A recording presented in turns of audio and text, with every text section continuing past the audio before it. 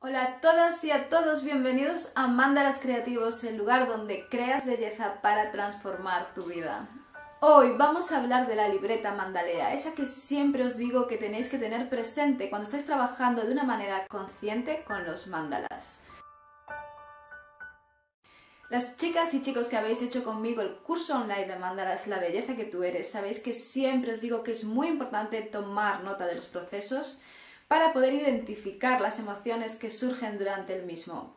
Por ello os he dejado el imprimible en mi página web mandalascreativos.com para que podáis trabajar de una manera mucho más consciente con esta maravillosa herramienta que son los mandalas.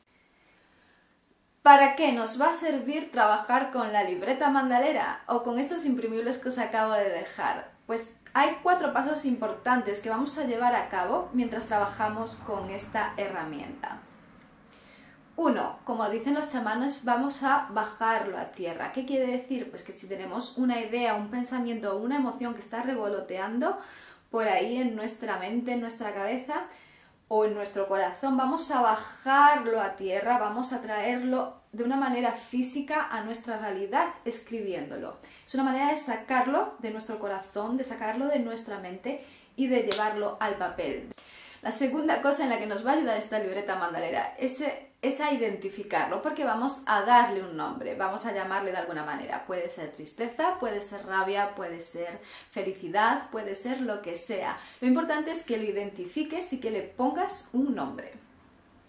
El paso número 3 es que vamos a analizarlo. Hemos, lo hemos bajado, lo hemos puesto en nuestra libreta, le hemos dado un nombre y ahora vamos a analizarlo, vamos a ir más profundamente a dónde nos lleva, de dónde viene esa emoción o ese pensamiento. Simplemente escribe, escribe todo lo que te venga, todo lo que pienses y todo lo que estés sintiendo y déjalo en el papel.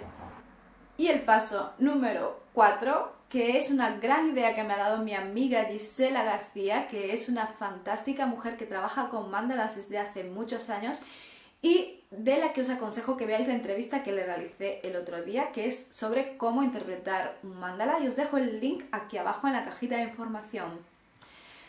La idea que me dio Gisela fue de sentirlo en el cuerpo. Siente dónde, en qué parte de tu cuerpo estás sintiendo esa emoción, en qué parte de tu cuerpo estás teniendo ese pensamiento. Cierra los ojos, imagínate eso que acabas de dibujar y que te ha provocado esa emoción, ese sentimiento, ese pensamiento y siéntelo en tu cuerpo.